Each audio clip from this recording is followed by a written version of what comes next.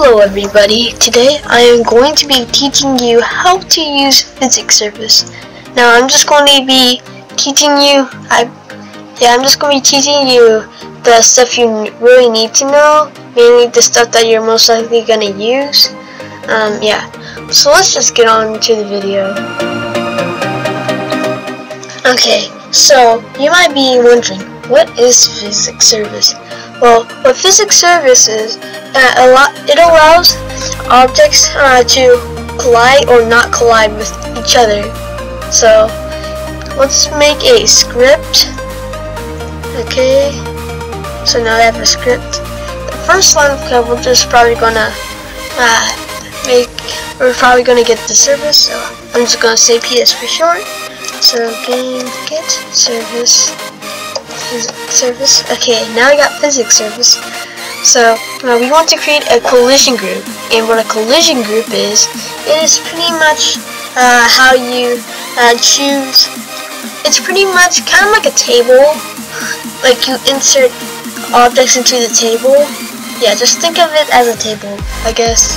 So we, to get a collision group, you gotta make a function called uh, um, it's called create collision group and you don't add, it's not a variable so you don't add local onto it.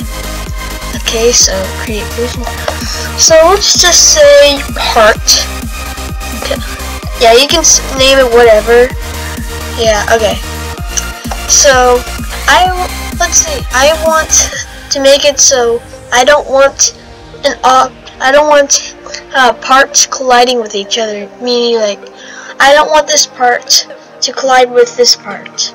Now, okay, so you want you want to use a function called set part collision group. So, actually, never mind. I'm sorry. Use um, let's see, collision group set collidable.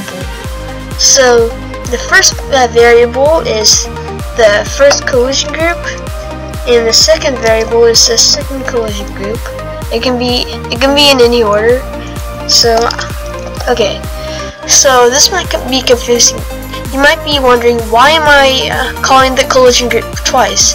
Well, that's because you can use you can uh, have the same collision group not collide with each other. Meaning, if both uh, if both objects are in the same collision group, they won't collide with each other. It's pretty cool. But it doesn't have to always be that way. You can maybe do, let's say, part two. You can do part two, but um, I just want to use parts. And the last argument is uh, to make it towards if they will collide with each other or not. So false meaning they won't collide with each other, and true meaning they would collide. Okay. So now we got our got our setup ready. You want to add in our parts, I guess. Let's make two parts. Let's just, okay, I'm just gonna make this one anchored. I'm gonna make this one not anchored. And I'm gonna make it towards where both can collide. As you can see, they set the can collide to true. Okay, I just got a Discord message. You probably heard that. Um, okay. So let's call this part 2. So now we got part and part two. So now we want to uh, put these into a collision group.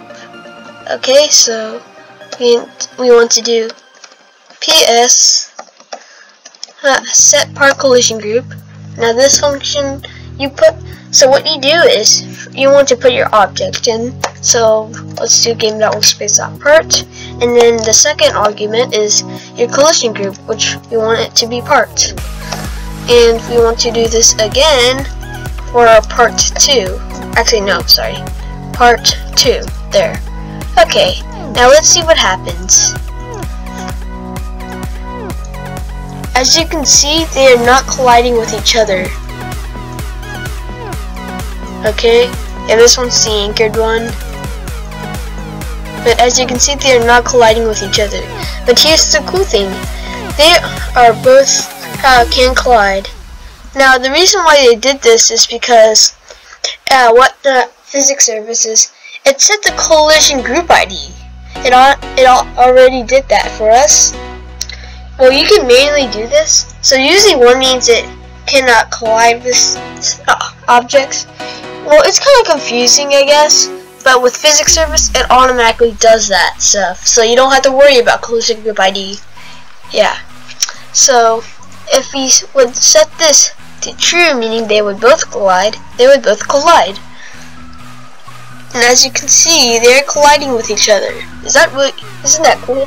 Okay, so you might be wondering, uh, how do I make it so a player cannot collide with another player?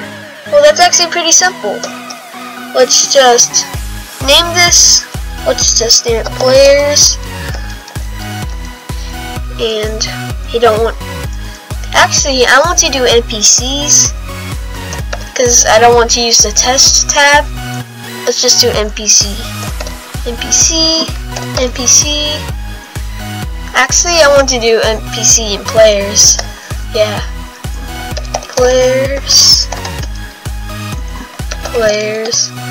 Okay, so now we have our collision groups. Okay, so let's add in an NPC. Okay. Now we have our NPC. I'm just going to rename this NPC. Okay, so let's make it towards we get our NPC. So this is going to be a little different because uh, physics service you have to use uh, union operations, mesh parts, and regular parts. You don't use models. Uh, so in order to fix that, we and to save so much lines of code, we can just do for i v in pairs game.workspace.npc get children. Now this might be confusing to you. You probably already know this. These are two variables. This is the that number of it. This is the object and we want to, yeah. Um, I think you should already know this. If you haven't, just go look at another tutorial, but let's finish this tutorial real quick. Um, okay, so now we have every single object here. So you want to make sure that it's actually uh, getting these, not these. So let's just do if v and there's a function inside an object. It's called is a Okay, so we want this to be part, or V is a union operation, which probably there isn't, so I'm actually going to change it to mesh part. Okay, how did that happen? Mesh part. Okay. Then, okay, now we make sure it's uh, one of these. Then we want to do, uh, we want to do physics service set part collision group V and then we want to do NPC. Now you can do the same with players except you gotta add the player added function. So game.players.player added connect function um, player we're going to uh, do the character function. So player.character added connect function character I'm not sure if I'm do if I spelled everything right. Probably. Okay. So let's just do this again. But this time we do character. Um, let's just organize this. Okay. There you go. Now part. Okay. So now we got our two collision groups um, now we should make it... Okay, so I accidentally said part instead of players. I am such a small brain. Um, I think I got mixed up with this or the my previous collision group, which used to be called play part. Okay, now it should work for sure. And why is this not working? I set them to true, and I want them false. Yeah, the slightest error of code can make the whole script uh, uh, malfunction. So now we aren't colliding. So this is a way where you can make NPCs not collide with each other if you want to make a game with, uh, that like there's a main character. You can also make it towards players don't collide with each other. So you can just also make it towards players don't collide. Okay. So if we were to test this, um, you would go to the test tab, and then I prefer two player, and then you press start.